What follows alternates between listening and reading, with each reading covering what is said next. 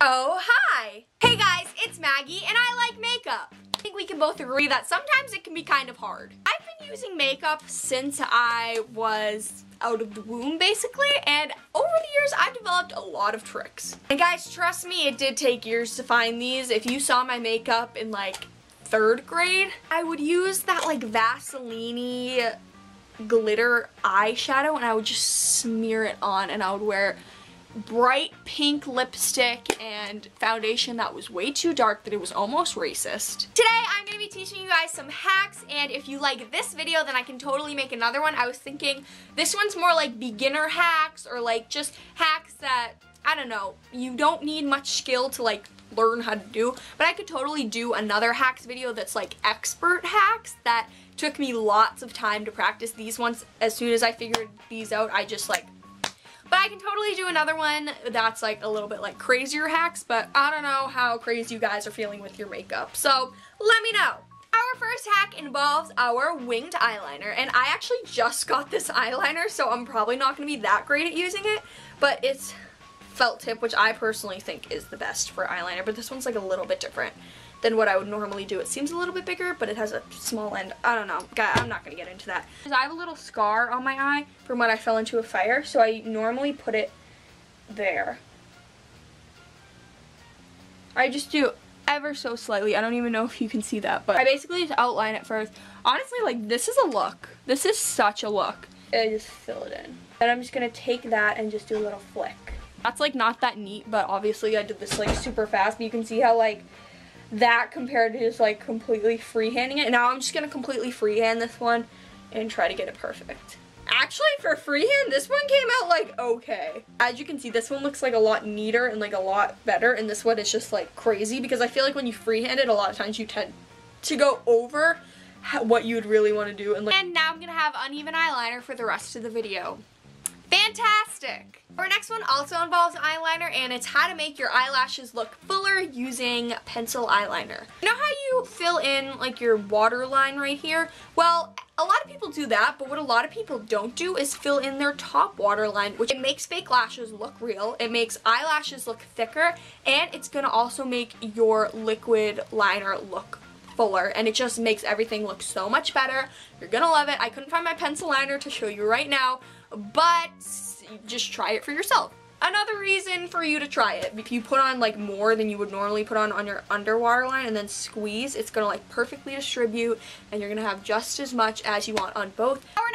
About how to get the perfect lipstick using no lip liner. I use Kat Von D Everlasting Liquid Lipstick just because it's like the only lipstick that I've ever tried that hasn't come off when I just like breathe. This blue will be good for you to really see. So I like to you know, wipe it off. You don't want too much, especially you really don't need a lot with this. What you're going to do is you're going to make an X shape on your cupid's bow. So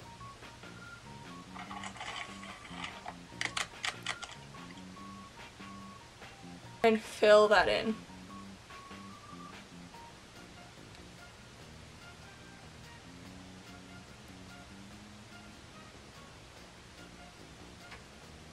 Also, tip within a tip, this lipstick can sometimes be kind of drying just because it is matte. So what I like to do is I just put a tiny layer of chapstick before I put on this lipstick and then I put on that lipstick and it seriously doesn't change how long it lasts. It does make it a little bit more easy to come off just because it's not like directly on your lips but the look of lipstick on dry lips is disgusting so this is really gonna work. Wow I'm really starting to look there's no word that I can say that's not offensive. Our next one is for when you drop a powder compact and it shatters. If your powder is all shattery, all you need to do is take some rubbing alcohol, take a cotton pad and just push it down in. You could also do is just take your fingers and push it in so it's all compact and then just spray a little bit of alcohol on that. What the alcohol is going to do is it's going to keep it together and give it that body that it needs but without making it dirty because alcohol does kill bacteria. Also, if I just need a quick clean, I just use some rubbing alcohol and spray it on my brushes or if my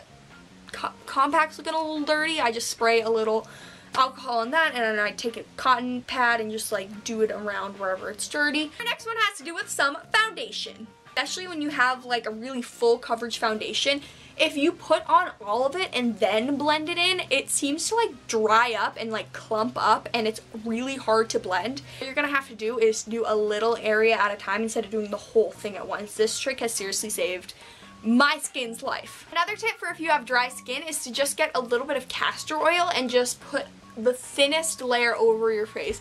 Not only is this going to fight acne, but it's also going to make your skin so soft without making it oily and your makeup is going to go on so smooth and you're not going to have any clumping and it's just so great. Another foundation tip is if you have a really full coverage foundation, almost so full coverage that it can look a little bit cakey, but you still want to like stay matte and lock it in, you can use some translucent powder. As you can see, this powder has absolutely no color, so when you put it on, it's not going to cake it all it's gonna do is just set it in place. But if this was colored, then it would add even more coverage and that's just gonna look cakey and gross and you don't want that. My next tip has to do with your brows. If your brows go in crazy directions, like mine, just they go wherever they wanna go. I like to take some hairspray and a little spoolie brush and you spray it on that and you don't want to spray it directly on your eyebrows. I used to do it, but hairspray is apparently really bad for your skin. So you just do that, and while it's still wet, you just go through and brush your eyebrows. You just do a thin layer. Then you're not even going to be able to see it, and it's so great. My next trick is for those of you that like to put on foundation before you do eye makeup, and I personally like to do that. I just think it's a lot easier. What I usually do if I'm not wearing foundation, because a lot of times I don't wear foundation, is I put tape on my eye. And apparently tape is bad for your skin. I don't know. But what it would also do is it will rip off your foundation. So what you can do is you can just take some toilet paper and you get the same exact result you just hold it right there. Again, this you would have to hold it. I guess you could like take take a little tape and like tape it to your hair. I don't know. But personally, I only use one hand when I'm doing my makeup anyway, so it's not that big of a deal. If you don't want like something sharp, you can just hold this right there, and then that'll catch all of the fallout and your foundation will be fine. You just cheated makeup. How do you feel? Alright guys, that's pretty much it for this week's video. Make sure you give it a big thumbs up and comment down below your favorite hack. Let me know if you didn't know any of these hacks. Let me know if you did know these hacks. Make sure to subscribe to my channel for new videos every Monday. Thank you so, so much for watching and I will see you all next Monday. Bye!